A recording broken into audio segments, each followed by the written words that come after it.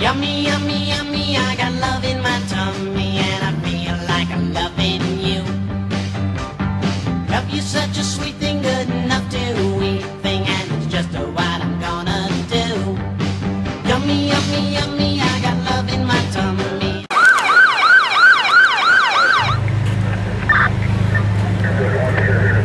Approximately half an hour ago, received a report of two unconscious victims out in front of Jennings Beach.